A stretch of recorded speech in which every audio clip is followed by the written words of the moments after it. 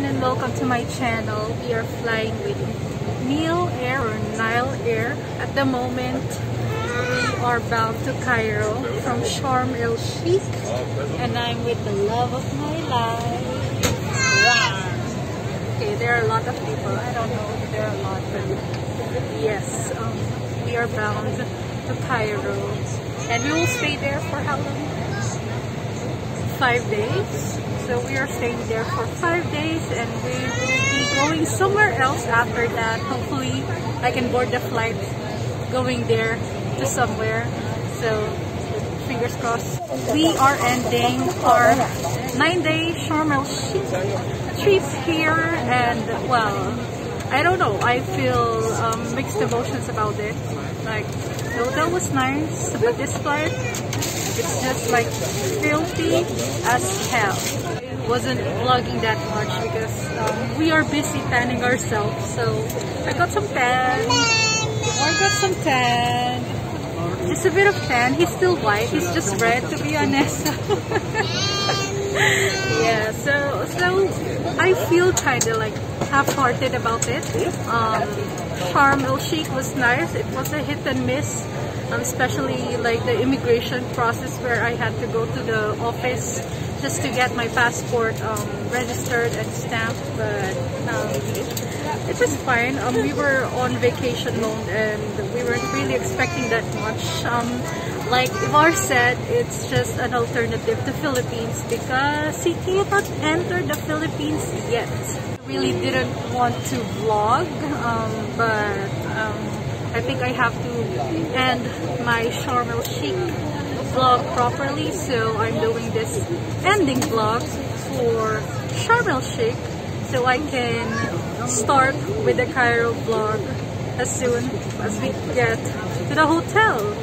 If you are flying out of Sharm el Sheikh, um, just a domestic trip to anywhere in Egypt like Cairo, you will be departing from Terminal 2 here and you'll be arriving at the Terminal 1 in Cairo. Um, we paid $77 for each seat, but they're hella filthy, and we'll get back to that later. I want to show you guys how filthy it is. Um, I don't know, but like, oh my god. Like, I like paid, like, I don't expect this at all. I did not expect how, like, dirty it is. It's not really maintained at all. But anyways, we had um, a bit of a hassle. Not just a bit of a hassle at the airport here. There are a lot of um, securities here. Of course, I'm bringing my essential oils, so they check that out. Um, we are also bringing Ivar's powder juices from the Philippines.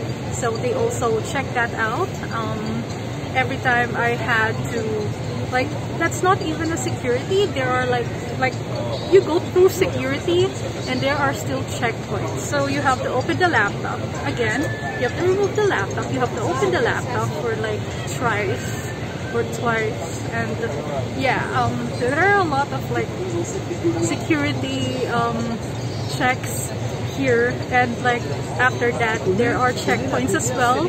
They register your passports and everything. But um and you also have to remove your shoes even if there are no metal things on it. And um like a lady or like a guy will have to inspect you as well like like the whole body inspection. I wasn't expecting that. Like it was a thorough body inspection. Like I don't know if I feel like it's because of like really it's a security. I don't know if there are a lot of terrorism acts here but I think it's like because of that. Okay so let's get back to the plane review inside the cabin in one of the Neil Air flights. This is a A320 flight, like an aircraft, but I don't know. This is the worst aircraft that I've ever been to. Seriously. I just want to do a little bit of review because it really caught my attention because right now I don't even want to sit on my seat but I have no choice. We have to go to Cairo and who knows? Maybe it will change our hearts if we ever like decide to go back here in Egypt. Let's start with the seat. So I cleaned my seat a while ago because it's like, you know, really filthy. It was sticky as hell. Um, like the seat is really sticky. I don't know if you can see, but it's so old. Um, check this out, seat belt. The seat belt has like dirty stuff on it. So I cleaned my seat, hopefully thoroughly. I don't know. So I got this. I cleaned it with wipes and look how it turned out. How how filthy it is. It's so dirty. Like I've been to cheap flights in the Philippines and anywhere else, but I've never seen an A320 like this. Like aircraft that is like dirty and I don't know if they really check the seats or whatnot but it's really dirty. I want to show the seat belt as well on the other side. See? Oh my god. It is so dirty. I don't even know if they like really clean this or when was the last time they cleaned this aircraft because it makes me um, frustrated as hell. Because because you know imagine paying for a flight but it's like this.